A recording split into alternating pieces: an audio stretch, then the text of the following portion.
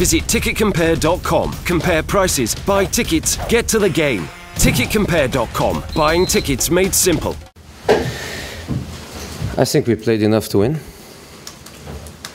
With all the difficulties, we played enough uh, enough to win. We start the game and we lose uh, the striker, and we lose one of the only two changes I have I have on the bench to change in terms of uh, of attacking areas and leave me just with one change for the rest of of the 90 minutes. I had to bring to the game Rashford to play 90 minutes when um, he clearly needs a little bit of rest and, and I couldn't uh, give him two. Then um, a very good referee, one of the most promising young referees, not just in England, in Europe too, had uh, a very bad decision that punished us.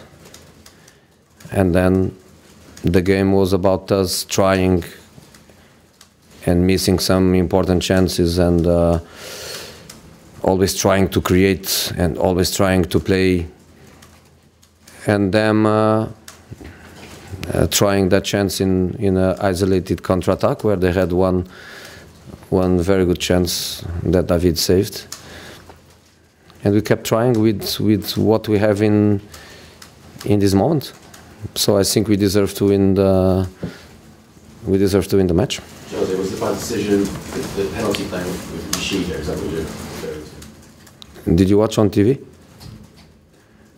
I'm asking you as the manager of Manchester United. And uh, can I ask you too? If you watch on TV? I was there. Yeah. I watched in the touchline, and in the touchline, it looked for me very clear. But 50 meters distance, so I gave the referee the, um, the benefit of, of the doubt. I know my players, so when I see people like Mata almost in a hysterical claiming, I, I, I could understand immediately that no doubt. And then at half time, I watch it, and it's uh, a penalty like uh, Rashford against Leicester was a penalty, like Herrera against City was a penalty.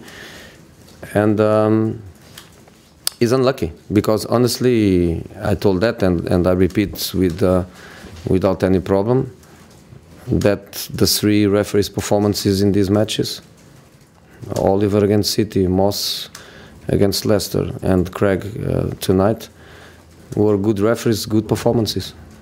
So unlucky decisions for us that that that obviously punished us. How's, how's, how's, how's I don't know. I don't know. I know that normally bad news, bad bad news arrive immediately, and bad news didn't arrive. But to, to, to leave the pitch the way he did, uh, with the doctor don't don't think twice to make that decision immediately is is, is because is because there is there is a problem, not just for today, but for uh, the next. Uh, two matches, I would say for sure.